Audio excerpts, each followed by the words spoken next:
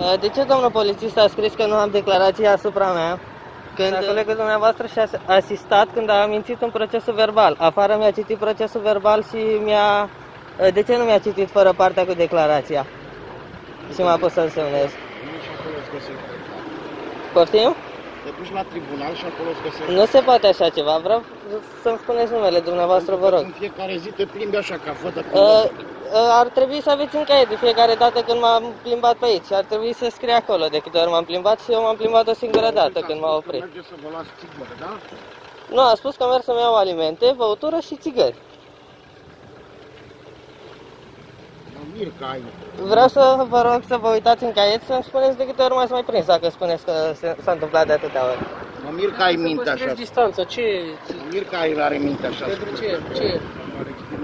Doamne ferește, haide, vezi de drum. Rog Păi. frumos. Haide că am semnat, uh, ia-ți buletinul. Și procesul verbal cine l-a semnat? Ai refuzat. Cum să refuz? Păi și ce fac, primesc amendă? Ai refuzat să semnezi procesul verbal și a semnat aici în prezența unui martor asistent. Și primesc amendă? Păi pentru ce? Pentru... Păi mergi să-ți iei țigără, să-i Uh, mănânci Păi pe stai, medic. de ce ați scris în declarație că nu am Băi, asupra semnezi mea procesul verbal declarație sau nu? dacă... Păi arată-mi declarația. Păi, vă-